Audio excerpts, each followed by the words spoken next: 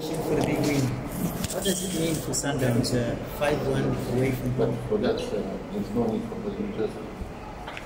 Uh, It's uh, first greetings to everyone.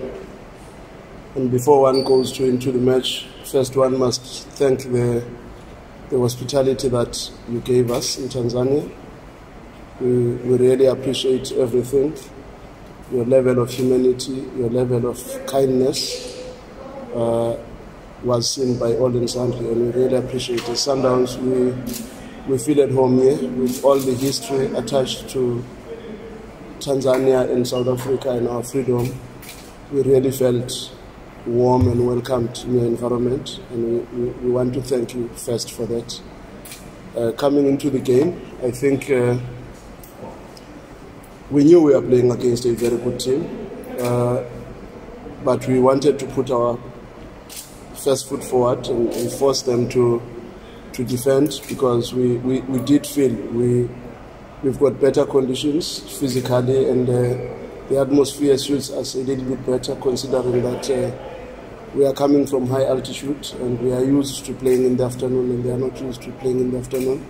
So we, we wanted to push them and press them from the top, which I think worked because very early in the game they committed a big error and we were able to capitalize on that. But uh, one must say we were also assisted by the fact that they got a red card very early in the game, which I would want uh, my players to learn from this because I, I still believe had that defender decided to just let the goal go on, uh, they would still remain with a good number and be able to have a fighting chance in the game.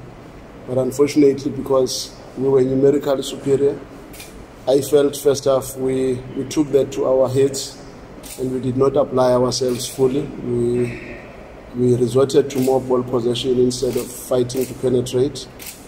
But uh, when we worked with, on that aspect at halftime, and thanks to all my coaches for the input and uh, the assistance that we got, even from our analysts, because second half we, we came with a purpose and we really stretched their, their defense the way we could have done even first half. But uh, in football, we learn from this, these experiences. But one appreciates the fact that we got the biggest scoreline away from home.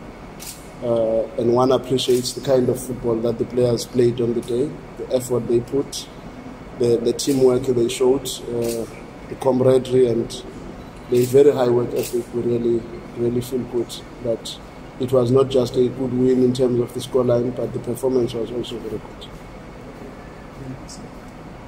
Any concern for Dennis Onyango?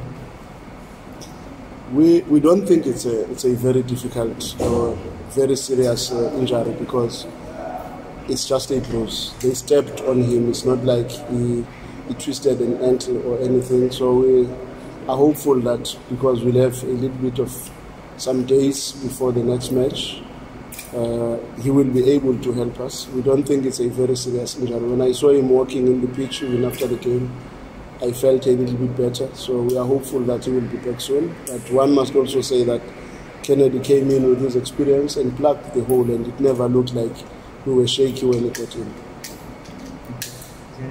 Coach? Thank you, coach. Uh, we'd like to wish you a safe journey back home. We warmly welcome again. Thank you very much, and thanks once again for your hospitality. Thank you. Thank you.